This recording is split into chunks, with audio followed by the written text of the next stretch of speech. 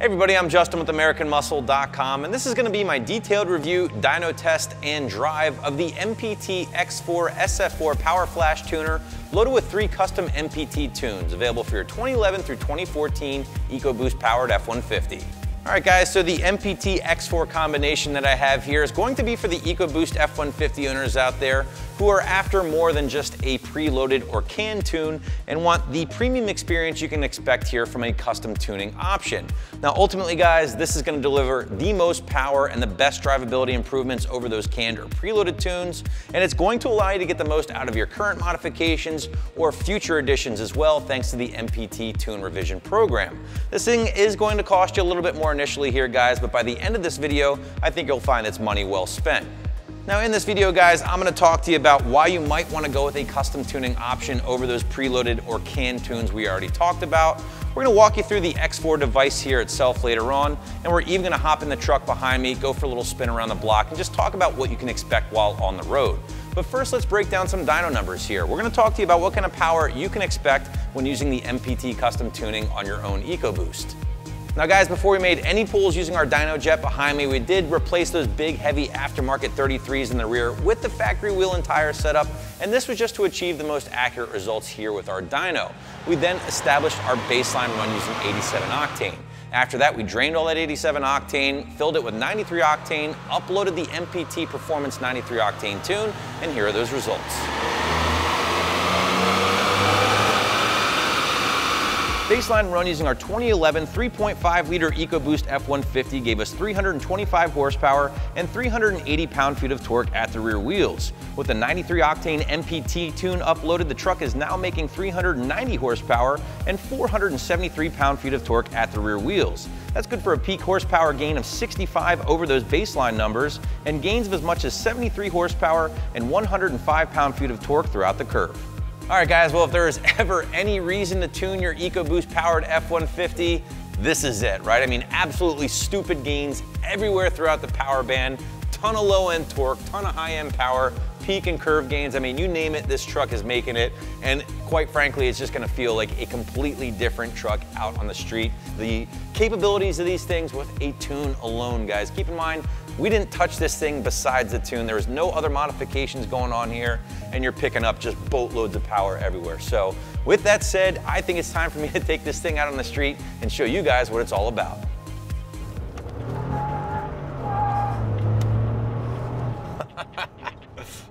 That's how you do that.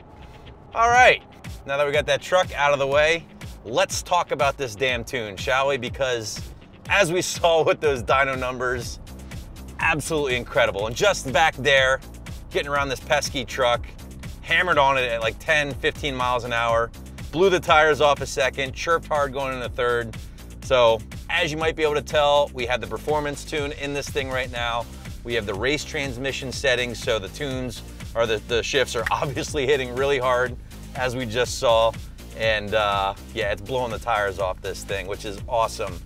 Now, the perfect way to describe this truck before with the factory calibration and after, and as cheesy as it sounds, is Jekyll and Hyde, right? Because as we saw with those numbers, massive gains, well over 100 horsepower, over 100 pound-feet of torque throughout the curve, big peak gains as well. I mean, this is just a completely different truck. It blows my mind the amount of power these EcoBoost trucks pick up with a tune alone. What I've noticed with the factory EcoBoost trucks and even just the even the EcoBoost Mustangs to a certain extent, is that they fall on their face early on in the power range or in the power band. Here we go, listen to this.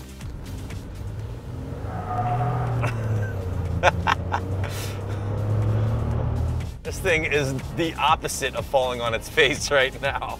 I mean, this thing is hauling the mail. There's no doubt about it. And it's just so much more fun to drive.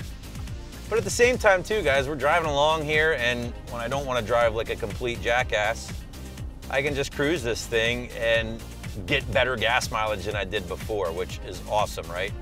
Because usually when you add this much power, you add this much torque, you automatically think, well, there goes my mileage, right? That's not the case here. Again, MPT does a great job, even with their performance tune, of still kind of hooking up that mileage. I mean, Granted, yes, you could put the economy tune on and probably gain a lot more mileage, And that's just because they're gonna take away all of your fun, right? They're killing your throttle response. They're gonna pull a whole bunch of boost out of the calibration.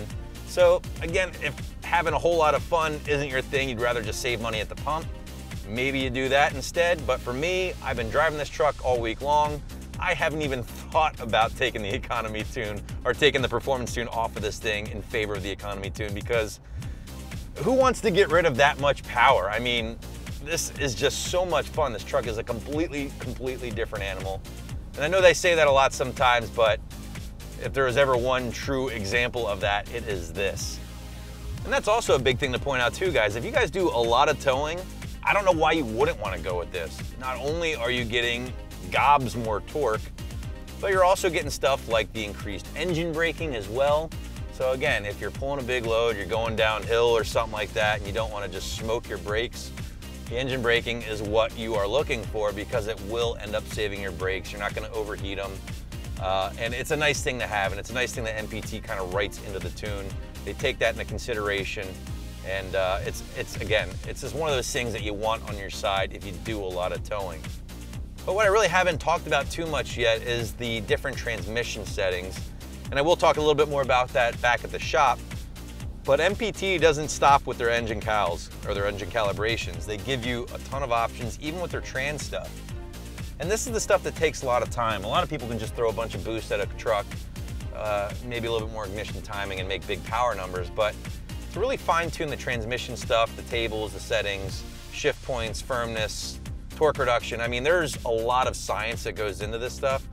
And you can tell MPT has definitely done their homework. And I think this is what really is going to separate some of the MPT stuff from the more canned options because they're giving you a race option as far as trans settings, which is the most aggressive by far. It is, again, what's currently loaded onto this truck.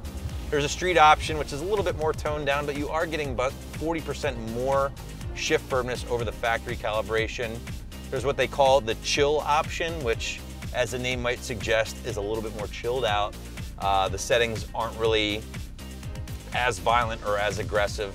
And then there's the stock option. So guys out there that maybe don't enjoy the snappy shifts or the firm shifts and maybe like the slower, lazy shifts of the factory truck, you can still totally have that. I mean, MPT gives you the option of adding a boatload of power and torque, basically the same kind of power that we saw in our dyno, but at the same time, you can keep the factory shifts. So again, it's a nice option they give you, and this is the kind of stuff that you're getting with the custom tune that you might not be privy to if you were to go with a can tune or a preloaded tune. You're kind of just stuck with what they give you.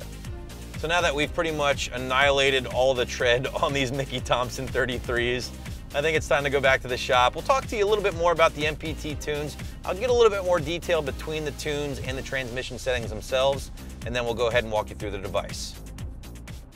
And I think you'll find the SCT is going to be one of your most popular devices in the tuning aftermarket. The X4 is definitely one of the most user-friendly devices, at least in my experience, and we're going to walk you through it right now. We'll start with the gauges and data logging. Now, I think this is going to be probably the most popular feature with the X4. It's something a lot of you guys are going to use the most, I think, when having this thing in your rig. You're starting off with two pieces of data here. Now, you have your intake air temperature and your control module voltage. Now, this is only one of many layouts with the X4. We'll get into it a little bit here we can actually go ahead and select our gauge layout. Now you have a number of different layouts to choose from with the X4. So two is what they start you off with, but you can go all the way down to eight here at one time to be displayed on the screen. We'll run down through some of them right now. Of course, starting with boost, if you had an EcoBoost, that would probably be a very useful one. Voltage, coolant temp, intake air temperature, um, you know, fuel trims, things like that. We have all kinds of stuff. Your air fuel ratio, which is a big one with the SCT a ton of different stuff to choose from with the X4 and have it all be displayed here for you. So you can go through the menu, you can actually choose a horizontal or landscape mode and have it be displayed sideways if you prefer. Uh, personally, I like using it in the vertical mode and I found that you can buy the suction cup mount if you want, but I actually have a holder for my iPhone, works perfectly in there. Uh, not a bad idea for you guys. Now, if you want to actually data log this stuff, if you're, like I said, making a wide open throttle pull, if you want to review some data logs, see what the truck is doing, very, very easy to do. You're going to want to set up all the stuff you want to data log, and when it comes time to record it, all you do is simply hit that middle button there. You can see the record button flashes up. You let it go as long as you want, and you can basically stop it at any point hitting the center button again. So Uh, and this is something that you probably want to offload onto your computer to be reviewed by your tuner or by yourself if you're into that sort of thing. So we'll go down one to your vehicle functions. This is your diagnostic tool with the X4. This is gonna be where you read and clear your diagnostic trouble codes or your check engine lights, better known as.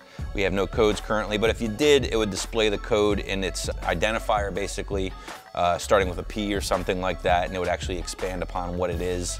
Uh, so if you had a misfire code, something like that, it would tell you on here. And you can actually clear the codes too if you wanted. Go down one, clearing your codes. Our, all of our codes are cleared, so there you go. Go down one more, this is your special vehicle functions. Uh, you can do a KAM reset, which is your keep alive memory, basically stored into the ECU. Basically, this gets cleared every time you disconnect your battery anyway, or your crank relearn. If you happen to have a misfire code, something like that, you'd get into that. So uh, again, very useful things to have here on the X4. Go down to vehicle info. You can view your VIN here, uh, your strategy code, which is what you're gonna need to look at once in a while when communicating with your tuner uh, ECU, all that good stuff there. Now a nice thing about the X4, this thing has built-in wireless, so if you do need to update your firmware, which is something you need to do with tuners frequently, they oftentimes send out updates. You don't need to plug this thing in to update it. It's wireless, so as long as it hooks up into your, uh, your Wi-Fi, the X4 will download the necessary firmware updates for you automatically, and it's a very useful feature to have. So here's the display orientation I talked about. We can change to landscape if you want, so now there you see, we can turn it sideways and you can do more of a landscape setting if that's what you're into. We'll change that back to portrait real quick. Uh, light sensor, this is again, this is your light sensor. You can actually see it right here, it's built in. So it'll just dim it if you like automatically. We have that set up already on ours. So it detects automatically when it's dark out, dims it for you, it's pretty nice. Uh, power management mode, that's way it won't kill your battery. Basically, you can leave this thing plugged in at all times. You leave it on auto here, it'll basically power down after being inactive for a few minutes. If you leave it always on, it's gonna drain your battery. So just leave it on auto and you should be good to go there. This is pretty cool as well. Startup, you can either have it start up anytime you plug it in or turn your truck on, it'll default to the main menu. Or what I do with when I have the X4 in my truck, I have it start automatically to the gauges because that's where you usually end up anyway. Um, so that's pretty cool they give you that option.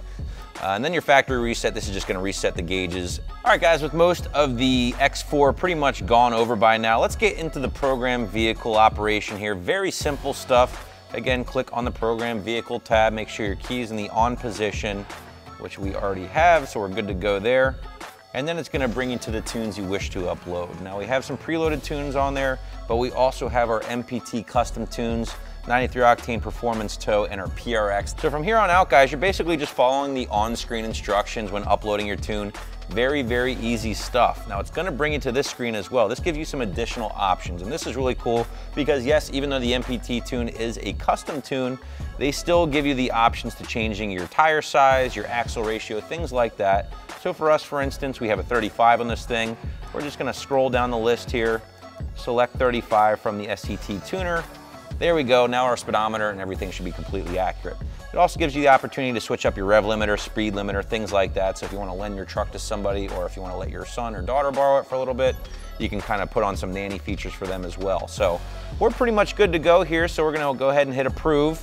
And from here on out, we're pretty much ready to rock and roll. So the tune's gonna flash. It should take you a few minutes. Very easy stuff, guys. I know I said that already, but I will say it again. One out of three wrenches on my difficulty meter in regards to overall install difficulty. I mean, you're basically just hitting a few buttons here. It should take you no longer than 15 to 20 minutes the first time, and then flashing the truck becomes a little faster after that. All right, guys, so that's my detailed review of the MPT custom tunes loaded on the SCT X4 device. Be sure to learn more about the device and the tunes right here at AmericanMuscle.com.